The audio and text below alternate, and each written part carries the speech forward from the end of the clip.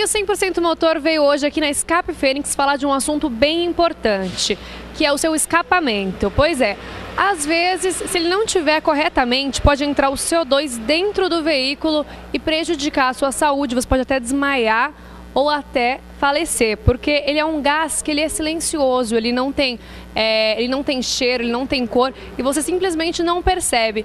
E aí você se pergunta, como prevenir isso? Como que eu posso é, manter essa segurança minha dentro do meu carro? O Thiago vai responder pra gente. Tudo bem, Thiago? Tudo bem, Thaís. É, que nem você mesmo falou, né? O CO2 ele não tem, ele é incolor, ele é inodoro. E as pessoas acabam não sentindo o efeito dele né, as consequências dele. E a gente vai estar aqui para esclarecer isso daí.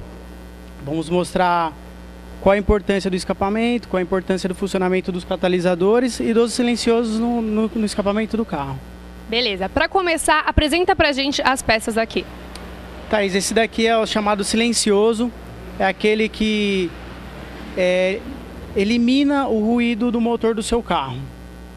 Essa aqui ao lado é o catalisador, ele é o responsável por transformar os gases poluentes para melhorar a qualidade do ar e melhora o desempenho do motor também. É, ele transforma o ele, ele consegue eliminar até 99% da quantidade de CO emitida na atmosfera. Então, né, você vê que ele elimina muito a, o sistema de poluição e não prejudica a saúde do condutor e das outras pessoas ao redor. Entendi. E a pessoa que está lá em casa, enfim, é, quer, quer garantir essa segurança para ela do escapamento, qual, qual o procedimento que ela tem que tomar?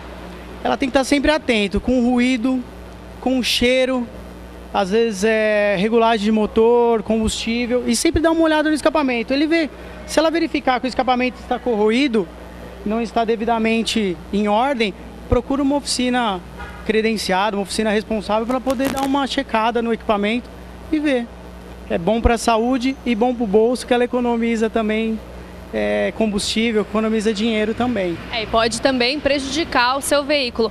É, aqui a gente tem o, o silenciador, explica pra gente como que ele funciona, qual que é o funcionamento dele. O seu Finardi falou pra gente que achava que isso aqui era uma peruca, mas não é. Não, não, isso daqui é uma lã especial, ela nada mais é do que para poder eliminar o barulho, como se fosse uma caixa acústica, vamos dizer o ar ele entra por uma parte, ele circula aqui dentro desse labirinto, a lã é, absorve o ruído e ele elimina os gases por aqui. Então nada mais é do que para ser um é chamado de abafador mesmo, né? Entra o barulho, ele absorve o barulho e só deixa sair o ar, diminuindo aí um 80, 90% do barulho do, do, do ruído do motor. É porque ninguém merece, né? No trânsito, aquele escapamento fazendo aquele barulhão, né? Até assusta. Com certeza. E muitas pessoas é, rodam com o escapamento estourado e não percebem que elas ficam irritadas. Tanto é que hoje você vê muitas pessoas irritadas no trânsito e a maioria das vezes é por causa do. Elas escutam o barulho o dia inteiro, o dia inteiro e não percebe que está sendo irritada pelo próprio carro. Tão simples, né? Perceber né, o barulho e falar, não, vou arrumar não, é né, meu escapamento. Super simples. Funcionou, escutou o barulho, opa, tem alguma coisa errada, tem que verificar mesmo. Tá bom. Agora explica pra gente o funcionamento ali do catalisador. Ó, o catalisador, ele entra os gases pela parte da frente. Uhum. Isso daqui é chamado de colmeia. Esse é o catalisador por dentro. Uhum. E como funciona? Os gases entram. Aqui dentro, no meio, tem uns metais preciosos que fazem a transformação dos gases. Por isso é o motivo do catalisador ser um pouco, o custo um pouquinho elevado. Só que é o seguinte, é, as pessoas só vê custo-benefício, não vê a, a, o que ele traz de, de qualidade de vida para as pessoas. Tanto em saúde, quanto em durabilidade do motor do carro, consumo de combustível. Então, e... a longo prazo, né, esse custo-benefício que você falou é até maior, né? Com certeza, ele se paga. É, não pode de maneira nenhuma ser retirada essa peça do carro. As pessoas hoje é, chegam e falam, ah, arranca o catalisador do meu carro. Só que ela esquece que ela roda bem. E depende da pessoa que trabalha com o seu veículo, ele chega a consumir dois, de 1,5 a 2 km por litro a mais de consumo de combustível. Então, se ela roda bastante, ela está jogando dinheiro fora. Se ela colocar o catalisador, o catalisador está se pagando, ela está melhorando a qualidade do ar dela e das outras pessoas também que estão ao redor dela. Né? Tiago, explica pra gente como que funciona esse equipamento. Thaís, esse aqui, esse equipamento aqui é o analisador de gases, que é aquele famoso, a famosa inspeção veicular. É, nós temos esse equipamento aqui, disponibilizamos para os nossos clientes. Ele vai, vai checar o seu carro, vai saber se seu carro está apto ou não a passar no controlar. Sim. É, e como que, como funciona o procedimento dele? Então? O procedimento dele é muito simples. É, é colocado a sonda no escapamento, e essa sonda, ela faz as leituras dos gases que saem no escapamento do seu veículo. E aí tem um determinado tempo, a máquina faz a leitura e ela compara o nível de CO, o nível de ruído, compara tudo. E aí... Entendi. E a partir disso você já consegue detectar os problemas do carro, enfim, corrigi-los, é assim? Sim. Aí emitimos um, um laudozinho para o cliente saber quais são os, os principais problemas que estão ocasionando o defeito no carro dele. Entendi. É, já tem alguns dados aqui na tela, eles são do que? Do último carro que fez o teste? Isso, eles são do último carro. E aí ele vai ter nos parâmetros.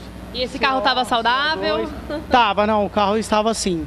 Estava assim, tanto é que tá pessoal. Isso. Entendi. Interessante, então, se você precisar, enfim, fazer inspeção veicular no seu carro, é sempre interessante porque passa aí é, o que, que ele está precisando, qual que é algum problema que às vezes a gente não consegue perceber, né?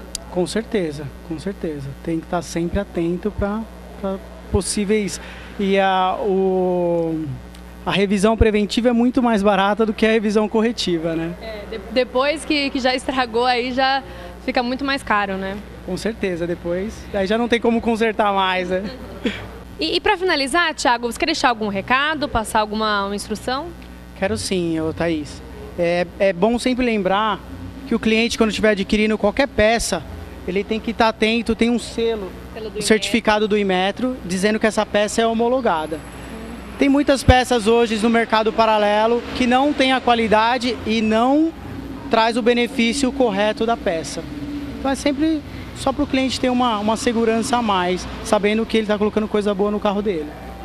É importante ficar de olho, então, aí na, na autentificação aí do Imetro. É, tem algum exemplo negativo que você queria mostrar para gente aqui de escapamento? Tem sim, Thaís. É, é, uma, é uma imagem bem fácil que o cliente pode identificar que o carro dele está com problema no escapamento. Seria essa parte aqui, ó, seria a corrosão, é, derivado ao acúmulo do, do, da água que sai do combustível. Ela vai armazenando dentro do silencioso e ocorre a corrosão. E isso gera o barulho porque ele vai abrindo um buraco na peça. É só para o cliente ficar atento e saber que o carro dele precisa de uma manutenção.